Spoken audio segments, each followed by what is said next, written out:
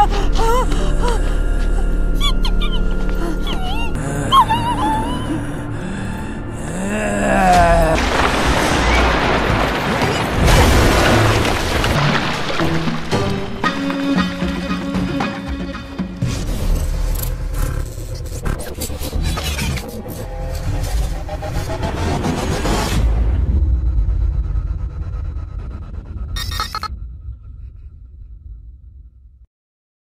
Si Hao pun mengikuti Si Yi sampai ke halaman dalam pavilion Butian.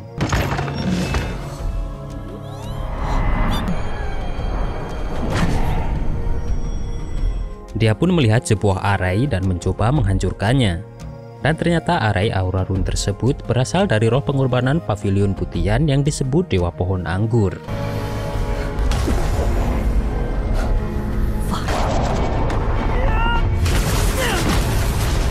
Si Hao pun sadar bahwa Dewa Pohon Anggur tersebut sedang sakit seperti Dewa Wilau. Saat si Hao mendekati pohon tersebut, dia pun merasakan aura run yang sangat kuat, sehingga dia memutuskan berkultivasi di tempat tersebut. Karena si Hao ingin lebih kuat untuk melampaui si Yi dan untuk mencari orang tuanya ke Gunung Taigu. Namun si Hao belum bisa memahami arti dari harta jiwa True Primordial Record yang mengandung arti sebenarnya dari Toism seperti yang pernah dikatakan Dewa Willow yang mengakibatkan dia tak bisa melampaui Si Yi. Namun di sini dewa pohon angkur tersebut membantu si Hao untuk memahami harta jiwa tersebut.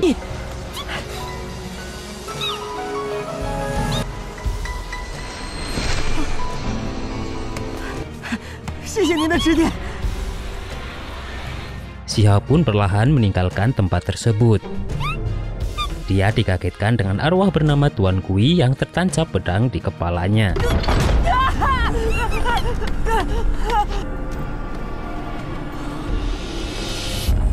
Hantu Tuan Kui pun mengejar si Hao terus ke mana pun si Hao pergi dan selalu meminta untuk dikembalikan pedangnya. Di sini hanya si Hao yang bisa melihat arwah tersebut.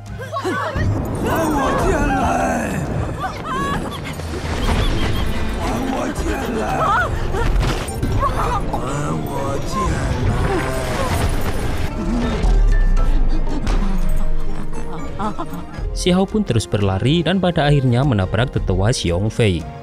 Saat Si Hao berkata bahwa dia dikejar hantu dengan pedang di kepalanya kepada tetua Xiong Fei, beliau pun tampak ketakutan. Singkat cerita, tetua Xiong Fei pun membawa Si Hao ke istana kuil kuno untuk menghadap kepada Master Pavilion Butian.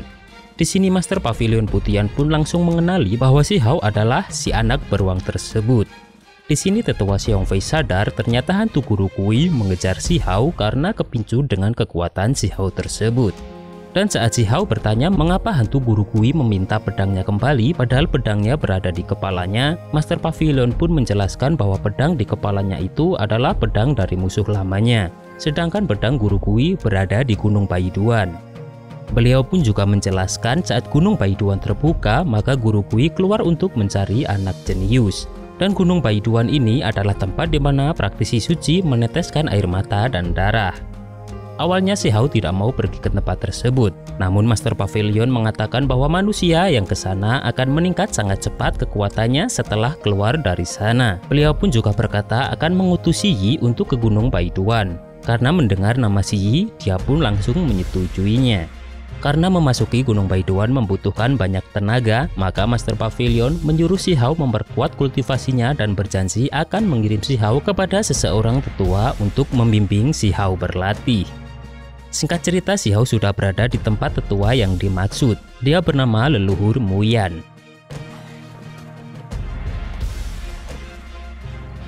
木叶老祖，你在给我算命吗？ 我操！ saat si Hao meminta agar leluhur Muyan mengajari si Hao jurus yang paling kuat, beliau malah memberi pelajaran dengan menyiram tanaman. Bukannya menyiram dengan tangan, si Hao pun menyiram tanaman di tempat tersebut menggunakan kekuatannya yang membuat leluhur Muyan geram.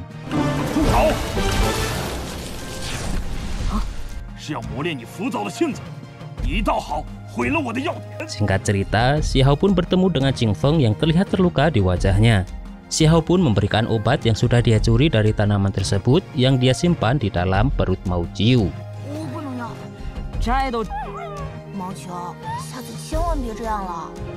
Keesokan harinya Xiao pun melihat Mao Jiu yang sudah terikat. Dan itu adalah hukuman dari leluhur Muyan karena mereka sudah berani mencuri tanaman obat miliknya.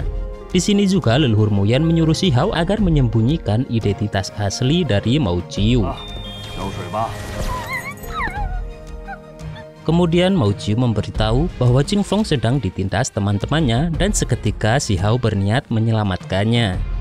Namun leluhur Muyan menahannya karena saat ini adalah waktu yang tepat untuk mengajari Xiao jurus hukum guntur dan besok adalah waktu yang tepat. Namun Xiao meminta leluhur Muyan untuk mengubah waktunya karena besok adalah hari kompetisi masuk kamp jenius dan Xiao harus menonton Jing Feng bertarung. Walaupun leluhur Muyan menolaknya, namun Xiao tetap kekeh ingin menemui Jing Feng sekarang, yang membuat leluhur Muyan terpaksa harus menahan Xiao demi meningkatkan kekuatan Xiao.